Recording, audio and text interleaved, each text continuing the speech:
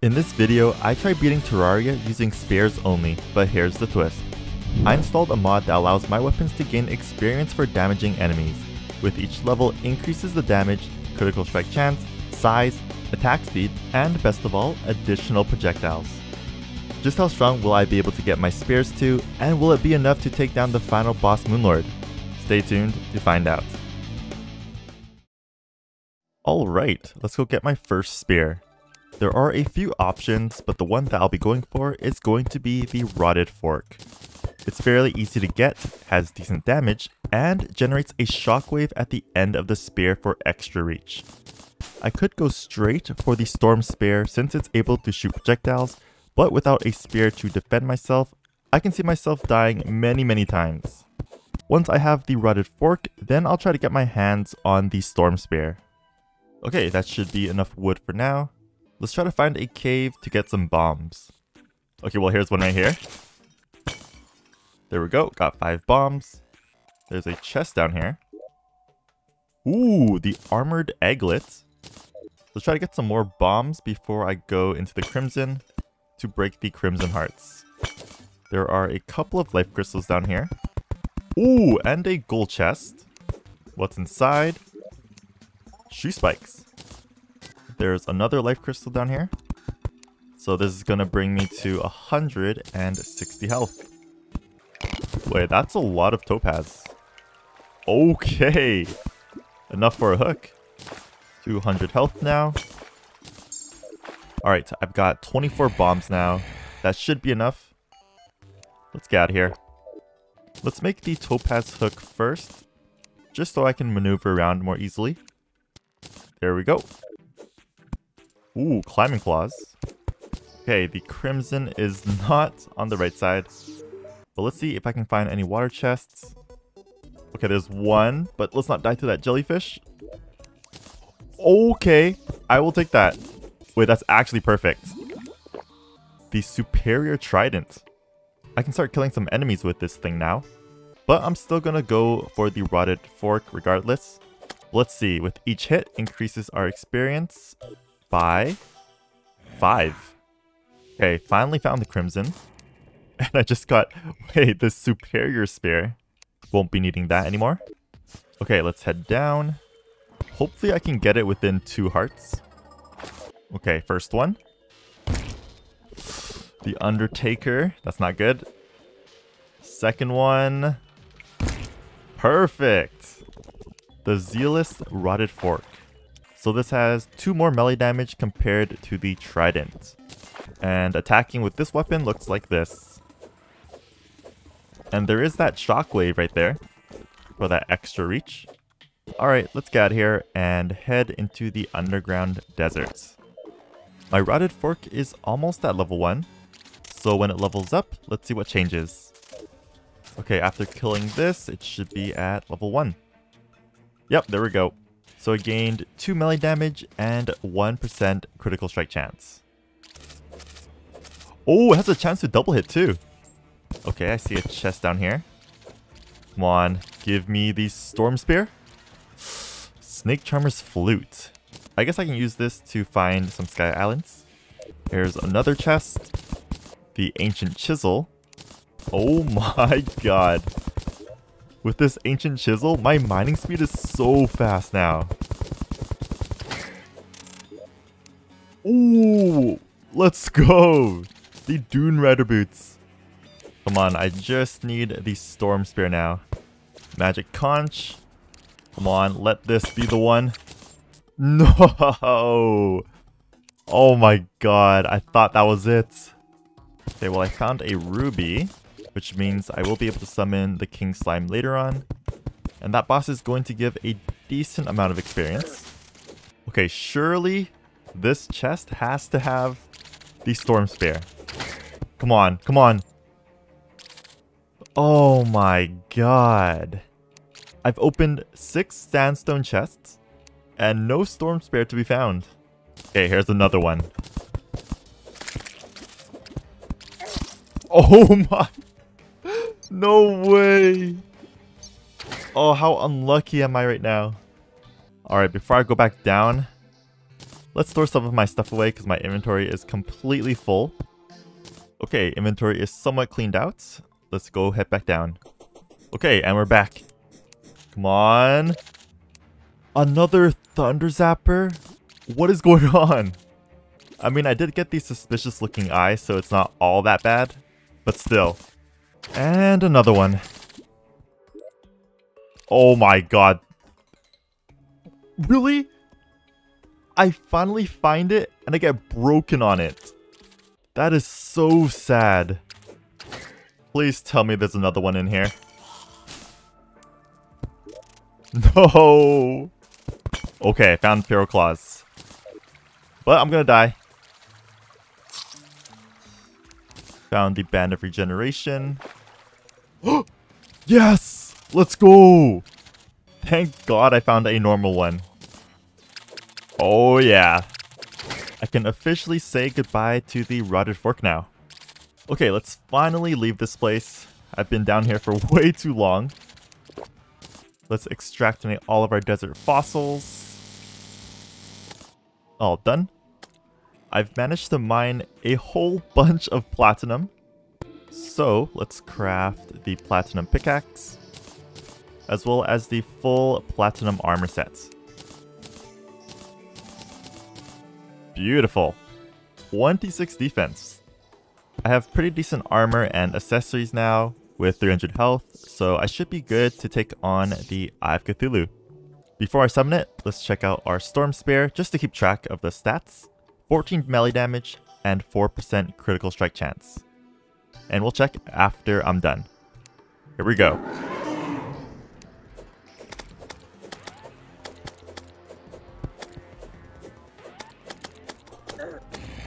Okay, second phase.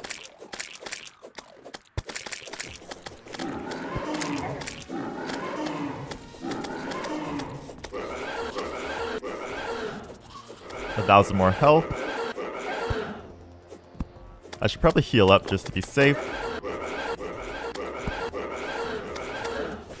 There we go. So from defeating the Eye of Cthulhu, my Storm Spear is now at level 1. So it gained 2 melee damage and 1% critical strike chance, just like with the Rotted Fork.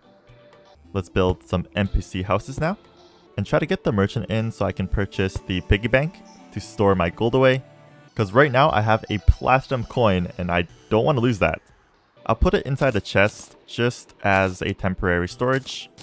Also my Storm Spear now has a chance to shoot out two lightning bolts. Let's drink a gravitation potion and search for some sky islands. Ooh, fledgling wings and the lucky horseshoe. All that's left is the shiny red balloon. And there it is. I'm gonna collect some more platinum ore now so that I can craft some platinum crowns to summon the king slime. Ooh, that's a lot of platinum here. Okay, I've got 100 platinum ore and 9 platinum bars now. Before I go back up to craft the slime crowns, I'm going to collect two more life crystals for max health. There's one. And down there should be the last. Perfect. Max health. Okay, six platinum crowns made. I just need two more gel to be able to craft one slime crown. I also managed to mine 27 emeralds, so let's upgrade our topaz hook to the emerald hook. Okay, got 20 gel now. Slime crown made. And let's just summon it. So our Storm Spear is at level 2 at the moment with 18 melee damage and 6% critical strike chance.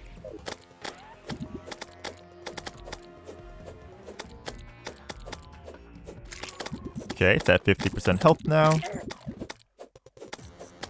Oh god, that's fast. And you're done. Let's clean up the rest. The Storm Spear is now at level 3. So it's safe to say that each King Slime defeated increases the Storm Spear by a whole level. Let's go summon some more. I can craft 3 now. That's 1. Now it's at level 4. That's 2. Okay, never mind. It's almost at level 5. And that's the third one. There we go, level 5. It now has 24 melee damage and 9 critical strike chance. I can summon the King Slime two more times, so let's go do it. That's one, and that's two. It's at level 6. So it's now able to shoot two projectiles 100% of the time, and sometimes three. Let's sell all of these items now. We're almost at two platinum coins. Alright, it's about time I take on the Brain of Cthulhu. And I don't think I'll need to make an arena for this fight, just because I have fledgling wings and a really good hook now. So it'll be pretty easy to maneuver around. Alright, here we go. Killing the creepers pretty fast. Almost second phase. There we go. Wow, that is a lot of damage. Oh my god. Alright. Brain of Cthulhu has been defeated. I might as well summon it one more time. Okay, that is so much faster. Oh my god. Now that I have some Crimtane bars and tissue samples, I'm gonna craft the Deathbringer pickaxe, as well as the full Crimson armor. Beautiful. And each piece increases my damage by 3%, so my Storm Spear now has 30 melee damage. And it's at level 7 from the Brain of Cthulhu. Oh yeah, you can definitely notice the size difference now. Let's head over to the dungeon now to build an arena for Skeletron. There we go. A two-leveled arena should be enough. All that's left to do is to wait until nighttime. It is finally nighttime. Let's talk to the old man to summon the boss. Three, two, one. Hands first.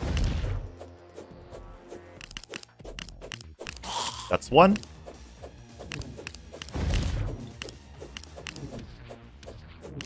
And that's two. Just ahead now.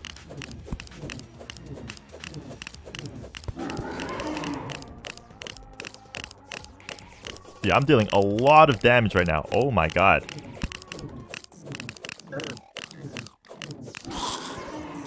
There we go. Skeletron has been defeated. Now that I have access into the dungeon, there are only two items that I'm looking for. The Cobalt Shield, of course, and the Shadow Key. With the Shadow Key, I'll be able to get my hands on the Dark Lance. Okay, there's the Cobalt Shield and has armored on it. And there's the Shadow Key. Let's mine down to Hell now so that I can open up some Shadow Chests. Finally made it down to Hell. And there are two Shadow Chests on the right here. Wait, there's three. Oh my god. Okay. Pretty good chance that I'll be able to get the Dark Lance. First one. Flame Lash. Second one. Hellwing Bow. And for the third one... No! The Flower of Fire. Okay. Traveling Merchant has arrived. Oh, he's selling the DPS meter. I will buy that. Okay, there's the Dark Lance. 38 melee damage. I'm gonna hold on to the Storm Spear for now, just because it can shoot projectiles. But if the Dark Lance ends up being stronger, then I'll get rid of it. Let's also mine some Hellstone so that I can craft the Molten Pickaxe and Molten Armor later on. Okay, that should be enough Hellstone. 346. And that is enough Obsidian. Now I can craft the Molten Pickaxe and the full Molten Armor sets. There we go. And the set bonus gives us an additional 10% melee damage. I do have three suspicious looking eyes, so I'm gonna use them to level up the Dark Lance. And there goes the last one. So three Eye of Cthulhu's has brought my Dark Lance to level 2. I'm not sure if that's going to be enough to take on the Wall of Flesh. I see that there are enough Crimson Hearts to summon the Brain of Cthulhu one more time. So I think I'm going to do that. All done. Oh wait, no, there's actually more here. I guess I am summoning the boss again. Alright. My Dark Lance is now at level 3. Oh wait, the Goblin army has arrived? I guess I'm blind, I didn't see that the Goblin armies were invading. Let's go take care of them, and then I will search for the Goblin Tinkerer. This event should also bring my Dark Lance to at least level 5. Okay, Goblin army has been defeated. So from level 3 to level 5, just like I said. Let's drink a Hunter's Potion and search for the Goblin Tinkerer now. Oh my god, there he is. Wait, that was so fast. Let's purchase the Rocket Boots and the Workshop. And I'm also going to reforge my weapons. Let's try to get Godly. There we go. Same with the Storm Spear. Perfect. So my Dark Lance now has 57 melee damage, 25% critical strike chance, and my Storm Spear has 37 melee damage with 28% critical strike chance. Let's combine the Rocket Boots and Dune Rider Boots to make Spectre Boots for now. And then I'm going to go into the jungle to search for the Anklet of the Wind, as well as the Cloud in a Bottle. Oh, here's the Sharpening Station. That's going to increase our damage by a bit more. Okay, found the Anklet of the Wind. Now I just need the Cloud in a Bottle. Oh, there it is! Okay, now I can craft the Lightning Boots and the Blue Horseshoe Balloon. I got some crazy mobility now. Let's summon these three Eye of Cthulhu's, and then I'll be ready to take on the Wall of Flesh. All done. Alright, made it to the end of the world. My Dark Lance is at level 7, so it's pretty strong now. I should have no problems at all. Let's drink my potions. And let's toss in the Voodoo Doll. Three, two, one, let's go.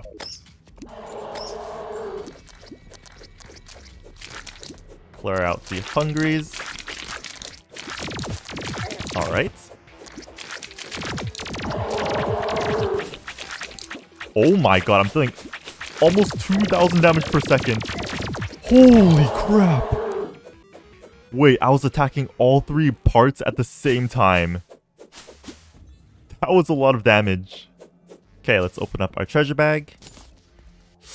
Oh my god, really? Two magic items. Okay, with the Pwn Hammer, let's go back to the Crimson and break some Crimson Altars to spawn in the hard mode ores. We've got Cobalt, Orichalcum, and Titanium. Oh my god! Wait, my Dark Lance can hit three times with just one swing. Damn, that is strong. That's enough Cobalt. Onto the Orichalcum. That's enough Orichalcum. And finally, let's go mine the Titanium. And that's enough titanium. Let's craft the full titanium armor set. So from 39 defense all the way to 63. Now I thought about crafting the titanium trident. Yes, it does have a higher base damage compared to the dark lance, but it doesn't have any special effects, so it's really not worth the time leveling up which means I will be sticking with the Dark Lance until I defeat the mechanical bosses. Speaking of the mechanical bosses, let's go farm enough materials to craft the summons. Oh my god. I just got the Rod of Discord. Wait a minute. Welp, that just made up the unluckiness that I had during the early game of trying to find the Storm Spear. Okay, I think I collected too many Souls of Light. 41 is more than enough. And that is enough Souls of Night. Alright, now I can make all three mechanical boss summons. There we go. And because there's still some time left before night, I'm gonna go kill some wyverns for Souls of Flight to craft better wings. Okay, that's enough Souls of Flight. Now I can craft angel wings. Let's wait until nighttime to summon the mechanical bosses. It is finally nighttime, so the first mechanical boss that I'll be taking on is going to be the Destroyer. Before I summon it though, let's take a look at the Dark Lance. It's at level 12 with 79 melee damage and a whopping 43% critical strike chance. Alright, let's begin. Three, two, one. Go to the clumped up parts and start attacking. Oh my! 20,000 damage. Oh, I am shredding this boss. And just like that, the destroyer has been defeated. So just from killing the destroyer, it has brought my Dark Lance to level 14. Almost level 15. Okay, now that was insane. Next up, the twins. Not sure if my Dark Lance can reach though. Yeah, no. Going to have to dash to me before I can deal damage. Like that. Oh yeah.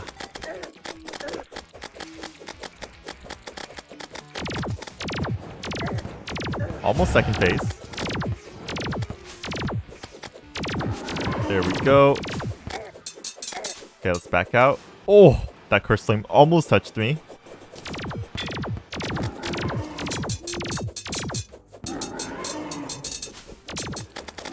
Second phase for both now. Okay, Spasm is down, and so is the Retinazer. The Dark Lance is at level 16. Lastly, Skeletron Prime. And for this boss, I'll be taking out all four of its arms first, before I hit the head.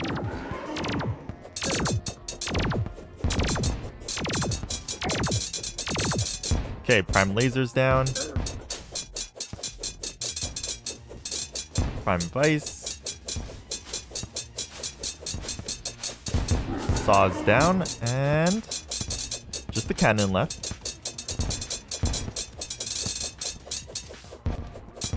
There we go. That was just to gain as much experience as possible.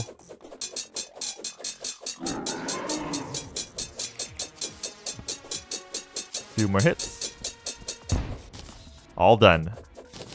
So those three mechanical bosses has brought my Dark Lance to level 17 with 90 melee damage and 48% critical strike chance. To be honest, I should have just crafted the Gungnir after I defeated the Destroyer. Yeah, that would have been a lot better.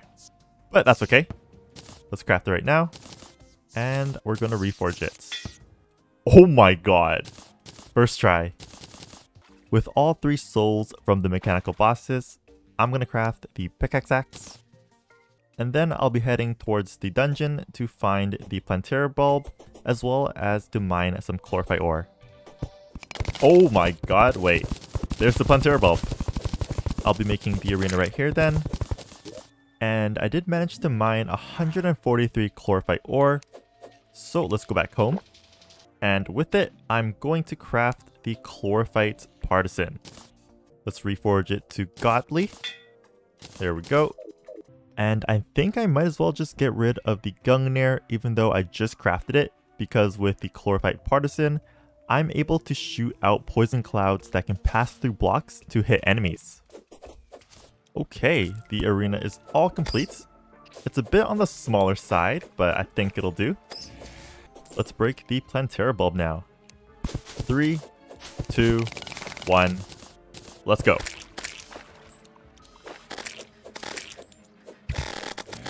Wait. Huh? Oh my god, this thing is crazy. What is this weapon? Wait, what was that damage? Oh my god. I think it's because of the poison clouds that linger in the area for a while. Okay, let's actually test it out on this target dummy. Three, two, one. Oh my god. Yep. It was because of the poison clouds. Jesus, that sound. Oh my, look at my damage per second. Wait, how high can it go up to? Uh, about 25,000 damage per second. And no, attacking this dummy does not gain me any experience at all, if you guys were wondering. Okay, but let's get a little bit closer and just attack with the spear itself. Yeah, okay. It's definitely those poison clouds. With the temple key, let's go take on Golem. Okay, made it into the boss room. It's pretty wide. Let's clear out all of the traps first. And let's just summon the boss because I really don't have to build an arena because of this Chlorophyte Partisan. Three, two, one. Yeah, look at that. Oh my god. Oh, I'm just blowing up bosses now. What? From just one golem, it has gained me three levels. And I can summon it three more times. Let's actually save these though, because there's really no need to level this thing up any further. I will instead be getting my hands on another spear from the Old One's army, which is the Ghastly Glaive. To summon the Old One's army, I'm first going to have to flatten this area a bit. Then let's put this Eternia crystal stand right in the middle. And finally, I'll be inserting this crystal to summon the Old One's army. Three, two, one. And I should have no problems. Especially with this weapon. Yeah, they just get destroyed in an instant. And this spear is so goddamn big, considering it's only at level 13. Okay, here's Betsy, and dead. Oh my god. Yeah, no Ghastly Glaive this time, but we'll try again. God damn, my Partisan is at level 23. I forgot to mention that the Ghastly Glaive can only drop from Ogres. Yeah, not this time either. Guess I'm gonna have to go for a third try then. Before I start up the Old One's army the third time, I do have 277 Defender medals, so it's about time I replace my Titanium armor. And the armor set that I'll be picking is going to be the Valhalla's Knight. 84 defense now.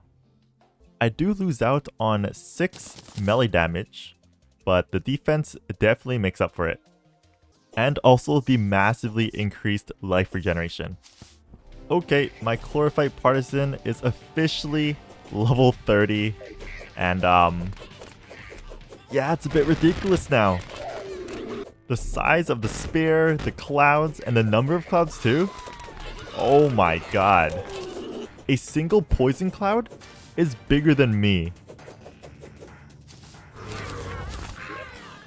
Book of Infinite Wisdom. Not what I'm looking for. Brand of the Inferno. Nope. Okay, well. Maybe I have to do it the fourth time. You know what? Instead of summoning the Old One's army for the fourth time, I'm going to try my luck and try to find the Shimmer Pool.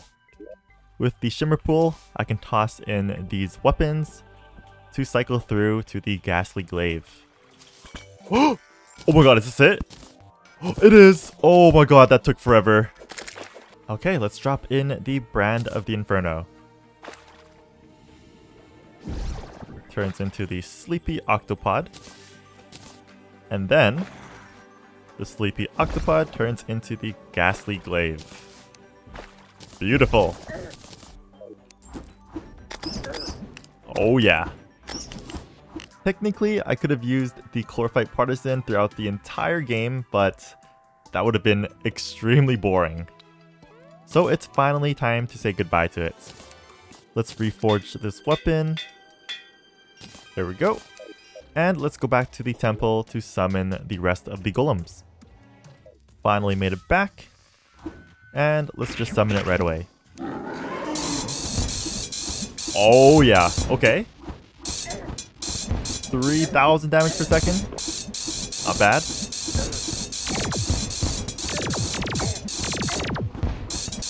Oh, it's getting higher. 9,000 damage per second. Oh my god. It just gained 6 levels from just one golem. Second one, here we go. Oh! Wait, this is so much stronger now. Wow. Level 9. One more time. Oh, wait, it went up to 30,000 damage. Oh my god, this weapon's nasty. Let's test it out on this dummy. Okay. It's about par with the Chlorophyte Partisan when that weapon was around this level, around level 12. Let's go to the dungeon to take on the Lunatic Cultist now. Here we go.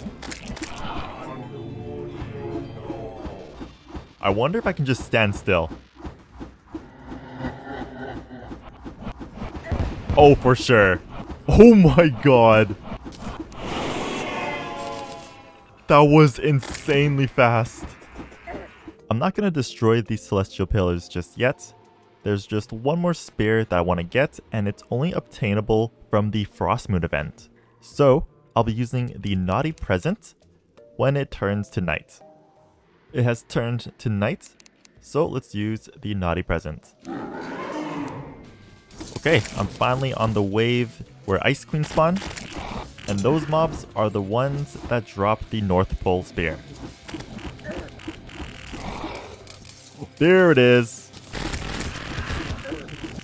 Oh my god, wait, hold up. The size of these ghosts are huge. Oh my god, it's a level 21. Okay, let's switch over. North Pole time. It's gonna take a bit to level up, but it'll get there. Okay, this thing is at level 5, and it's already looking pretty good. The amount of snow is racking up. Okay, the Frost Moon has ended. And that's going to bring the North Pole to level 23. And let's get godly on this thing. Perfect.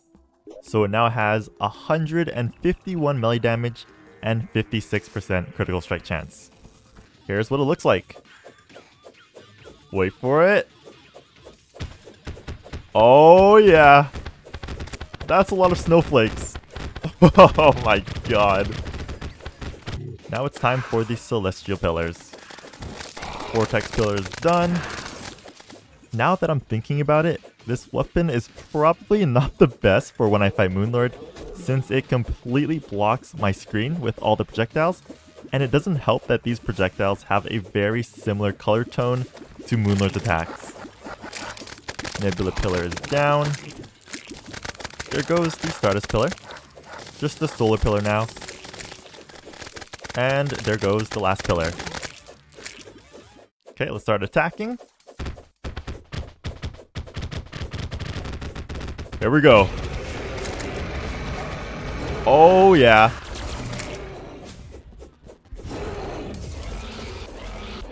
I know that this weapon isn't as strong as the Chlorophyte Partisan or even the Ghastly Glaive, but it sure is hella cool. Are both hands down? Oh no, just one. Okay, both hands are down. Make use of my Rod of Discord. Perfect.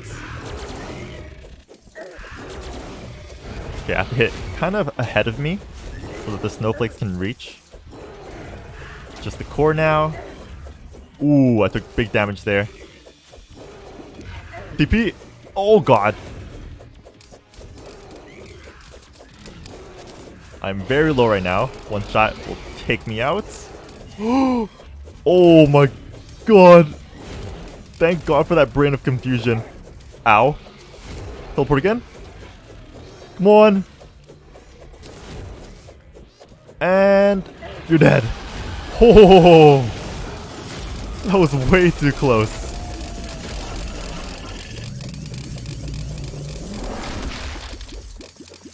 Alright, that's going to be it guys. Thank you all for watching.